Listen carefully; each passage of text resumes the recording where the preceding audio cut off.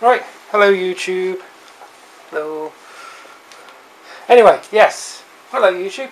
Um, cleaning body jewellery. I thought I'd show you a technique that I use when I take jewellery out because you can get a little manky, those can.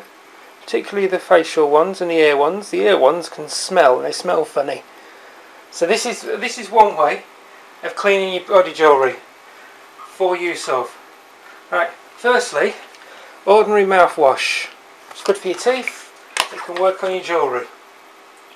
I would use a little bit of antiseptic, um, something like Detox or Dettol or something like that. But just give them a swirl.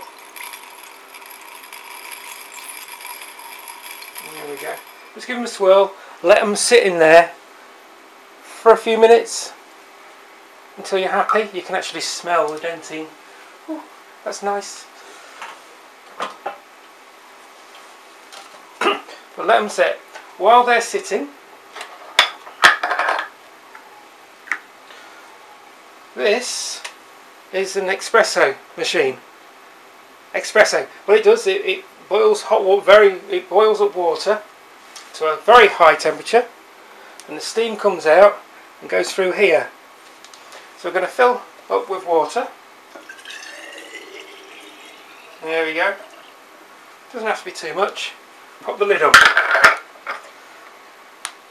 Now that's full with water. And what we're going to do is you've got that and that. Normally you put your, you put your coffee granules in there, you pop it in there and you pop it on and run it through. Take that, pop it, your jewellery, all your jewellery. It's dripping in there. So you've given your jewellery a bit of a soak. It's in the basket there. There we go. It's in the basket there. Pop it on. Pop it in.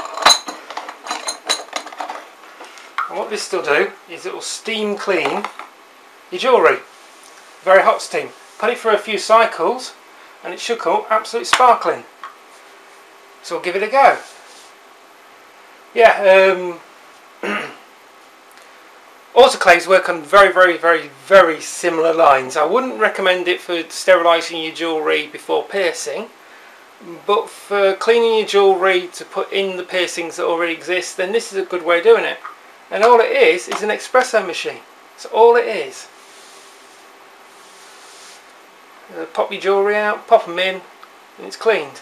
I've used mouthwash mainly because I wanted something that was a that was a gentle a gentle antiseptic. And that's all it is. What's it got in it? Alcohol glycerin sodium saccharin citric acid sodium hydroxide. It's, a, it, it's got zinc chloride in there as well. Uh, but effectively all it is is the alcohol the citric acid that's the stuff that does the job. So um, yeah, mouthwash. And I can hear it running now. Here we go, I can hear it coming. There we go. So you've got very, very, very high pressured water there that's, that's, that's dribbling through your jewellery. Very hot water. And then it's that last blast of steam really does it. That's it. And you run that a few times and you've effectively sterilised your jewellery. As I say, autoclave, it does this sort of cycle for about 20, 20 minutes. I don't know what the current legislation is, but it really does do the job. So we pop it off. Pop that down. Nice and wet.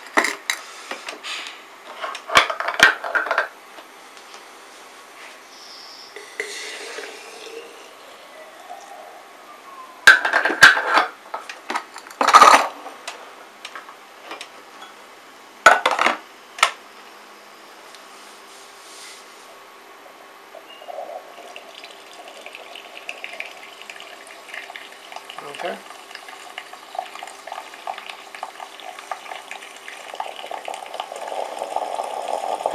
the blast. Lots of steam. That's what I like.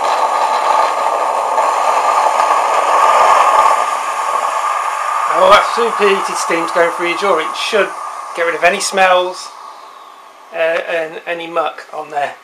So undo that. Take the pressure off. Now this will still be hot, so don't touch it, let it cool down. So we'll let it cool now. So,